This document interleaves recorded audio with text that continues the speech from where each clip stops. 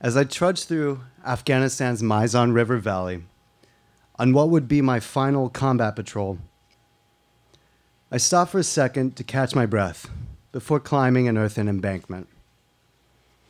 I had to keep my guys out of the riverbed and off the roads where we were easy targets,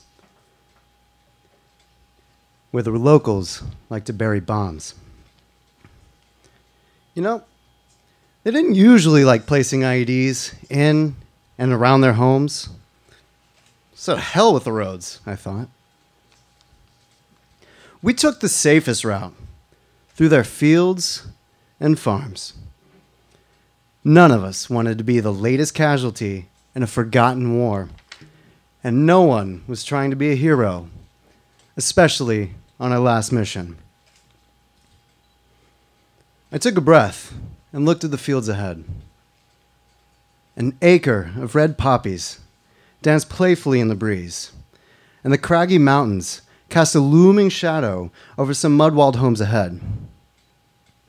I marveled as the Afghan cliffs slowly swallowed the most beautiful sunset I'd ever seen. You know, it'd be kind of pretty if it weren't for all those shitty houses. The river was a light show of colors.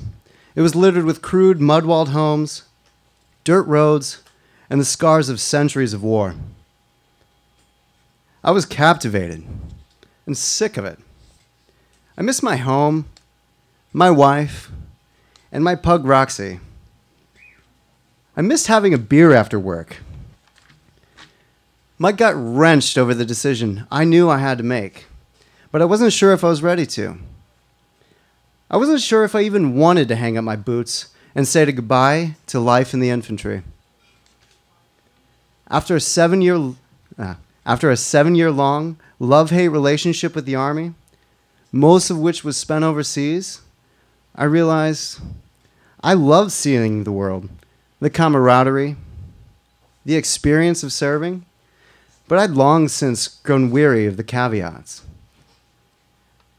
I was at the end of my enlistment, and I had to choose re up or get out.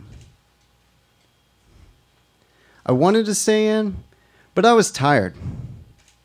I was tired of saying goodbye to my wife, tired of keeping my family at a distance,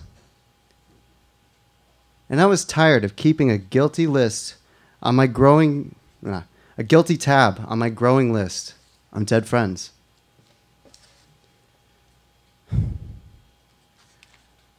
I longed for a normal life.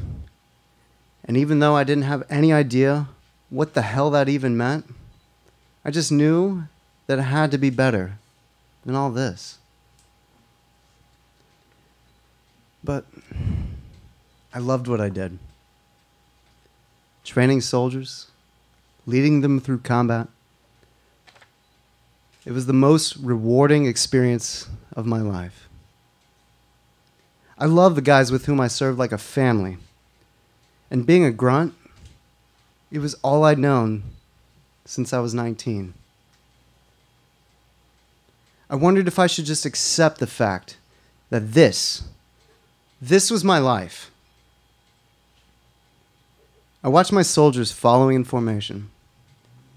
It had taken countless hours of training and a year at war turn what was once a gaggle fuck of misfits and teenagers into an effective fighting force. Hmm. I smiled proudly and I kept walking. As I stepped, I twisted my ankle and I ate shit. Gravity jerked my body one way and sent the 90 pounds of gear, of gear I was wearing violently in the opposite direction. I sailed to the ground like a bag of bricks. You all right? My platoon sergeant half giggled through my radio. This'll buff out. I answered, still spitting out pieces of Afghanistan while I spoke. Miss this? Shit. Let me count the ways. I dusted myself off and kept moving. I reached the edge of the scarlet morphine farm and climbed a wall to the next one. It too was filled with poppies planted in neat rows. Whoops. And as I climbed, my mind wandered back to scaling walls, fighting house to house in southern Baghdad a few years back. It wasn't anything like this. Back then, we'd quickly climb crude walls, rush into half ruined homes, and race to the rooftop. Entire neighborhoods would erupt into gunfire. My heart would race as I clutched my rifle's grip, my eyes and sights racing rantic- frantically through the haze of incoming lead and the confusion of trying to tell who was just trying not to get shot, who was trying to kill us. I thought of the adrenal rush as bullets sang just overhead, that carnivorous dread that gnawed at our sanity, and how we fought through it arrogantly.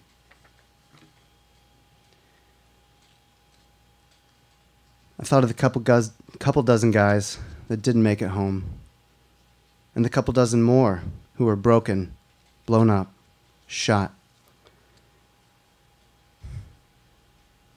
I remembered how the rest of us were left to pick up the pieces of our lives, to carry on and fight in their absence. The dead? They're the lucky ones. I was still coming to terms with my first homecoming from war on the eve of leaving Afghanistan. I relived old firefights by night and avoided them by day. I was so neurotic about my guys' safety because I was tired of seeing young Americans die on forgotten battlefields in wars that no one back home gave a shit about anymore. Screw this, I thought. I led my squad through the second poppy field and onto a small dirt road that was within eyesight of our mountain home. After a year spent battling the crags and my convictions, I walked the last few painful, muddy steps with my chin up because I knew that at least this time, everything was different. I knew I was still dealing with some old demons, but at least this time, I'd managed to keep my shit together. I'd trained and led my guys through 12 months of combat. And this time, I was bringing all of them home alive. And most of them were still in one piece. I did my job, and I was proud. I looked at the faces of my soldiers and counted them as they walked through the concertina wire before keying my radio for the last time. Hey, 2 6, 2 3, we're 100%. Roger that, 2 3. Welcome home. I stepped into our sandbagged outpost and I smiled proudly.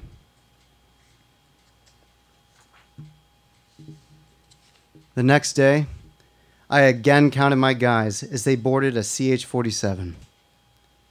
It was our ride out of the bomb laden mountains and back to Camp Disneyland, otherwise known as Kandahar Airfield, or KAF. KAF. It was our next stop on our way back home to Germany, where we were stationed. I remembered my first awkward homecoming, and I wondered how long it would take me to adjust this time. I closed my eyes and I listened to that helicopter clamor through the desert dawn. And I thought of red poppies. Later that night, a few of us went out to explore our interim home. Compared to our forsaken outpost, KAF was a five star resort, and we fully intended to enjoy ourselves. We bought cigars and pizza. We reminisced about humping our gear over mountains, getting rained on, eating expired MREs. All while the assholes stationed on KAF had such plush living conditions. Fucking A, huh? yeah.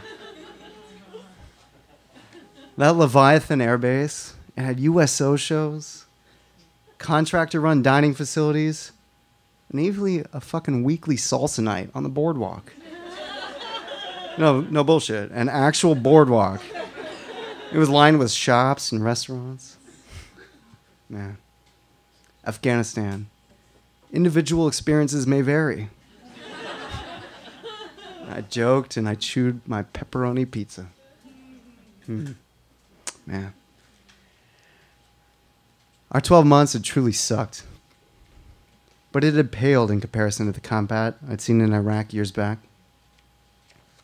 I remember the burned homes, dead kids, friends losing limbs. I felt stupid for complaining. I'm just happy we got everybody here, I said. And I chewed in silence for several minutes. A greasy pizza and a Coke. I was in heaven. And that's when my platoon sergeant's phone rang.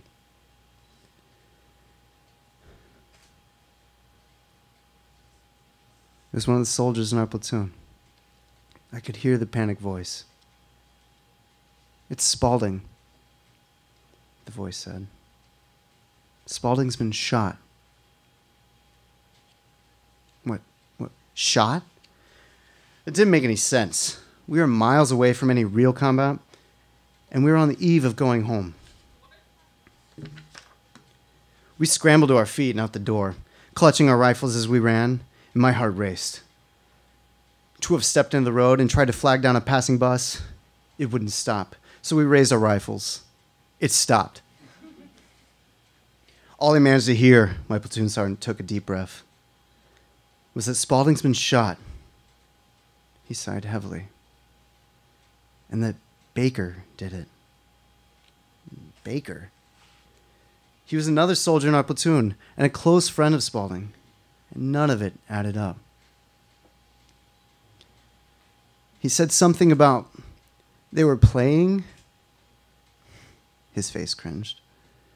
And the the baker shot him in the head.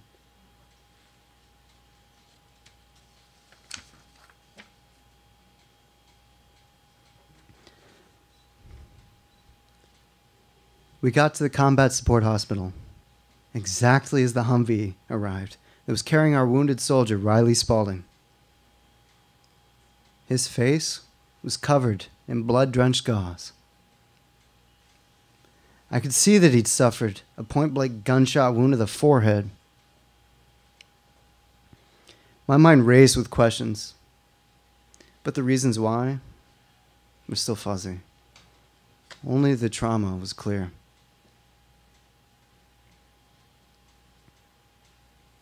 I watched four corpsmen carry Riley Spaulding onto a hospital bed and quickly wheel him inside.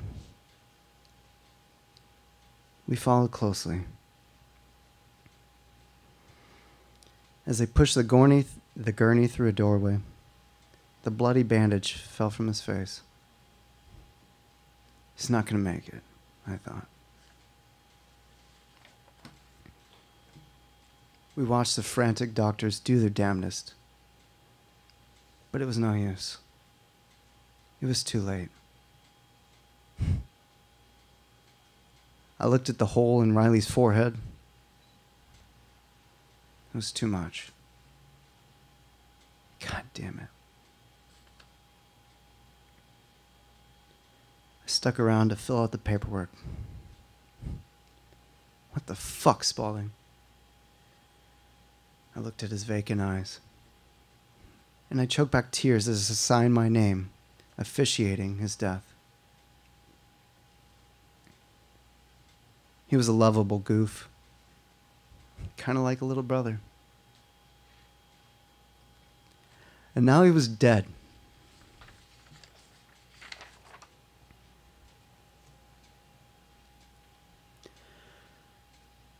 A week later, the rest of us were back in Germany we landed at Ramstein Air Base near Frankfurt and then loaded buses on our way back home to Vilseck, where our lives that were interrupted a year prior had left off. I stared out the bus window at the thick green pines and rain soaked Autobahn. I didn't know what to think about these carefree civilians who were driving beside us. They were, com- they were completely oblivious.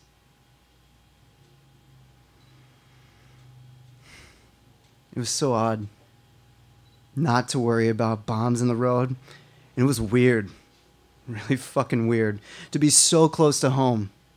Because suddenly, it wasn't such a vague concept. I thought of what it was like last time going home, and I shuddered. I wondered what it would be like now. This time, everything was different. I thought about Riley Spaulding. We were less than an hour away.